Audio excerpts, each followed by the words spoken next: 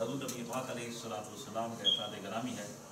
कौल रसूल जनाब अबू हुरैरा रवायत करते हैं, सरकार ने फरमाया अद दुनिया सिजनुल मुमिन व जन्नतुल काफिर।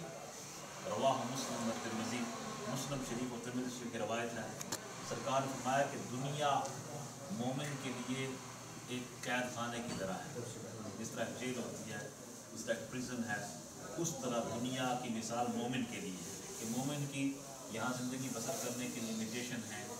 कोई उसको असूल जबते के मुताबिक दीनी तालीमत के मुताबिक उस जो एक उस उसको एक तरीक़ाकार दिया गया है उसके मुताबिक ज़िंदगी बसर करनी है। वह जन्नत काफिर ये काफिर के लिए जन्नत है। काफिर के लिए जन्नत है लेकिन अहल ईमान के लिए क्या है? इसके अंदर इसको कैद खाना इसलिए करार दिया ताकि वो एक असूलों के मुताबिक ज़िंदगी बसर करें और चूँकि दुनिया दुनिया मजरियातुल आखिरा दुनिया चूँकि आखिरत की खेती है, लिहाजा अहल ईमान इस दुनिया में नेक अमाल करके अपनी आखिरत को आबाद करने की कोशिश करते हैं। और इसी तरह हजूर नबी पाक अलैहिस्सलाम ने इरशाद फरमाया दुनिया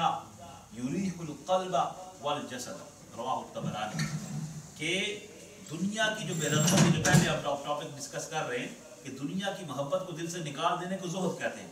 फरमाया, जो दुनिया का में जोहद है ना यानी दुनिया की मोहब्बत को दिल से निकाल देना, इसका फ़ायदा क्या इमीडिएट फ़ायदा इसका क्या है? फ़ौरन इसके जो जो जो बेनिफिट्स हैं, वो क्या है?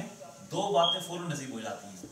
दुनिया की चाहत को दिल से निकालो, फ़ौरन दो बातें मिल जाए क्या? यूरी कल्बा व जसदा। दिल को और जिसम को सुकून मिल जाएगा।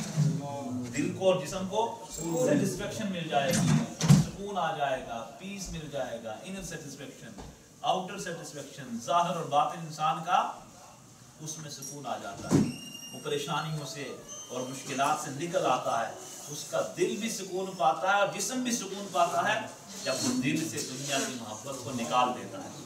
और इस जोत का उलमा ने बयान किया, जोत का मतलब ये नहीं है हमको ऐसी इस्लामिक सेंटर में कोई ऐसी तबलीग नहीं कर रहे कि बिल्कुल आप वो कहते हैं, सारा वो छोड़ छाड़ के आप बैठ जाए। हमारा मकसद ये है इंसान इस दुनिया में रहे दुनिया के सारे मामला चलाए, उसका बिज़नेस है जॉब है, घर है, हर चीज़ का टेक केयर करे।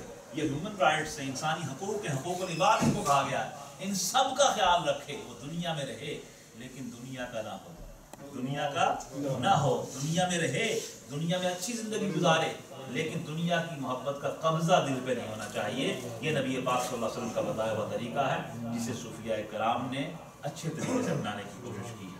Allah, Allah, Allah.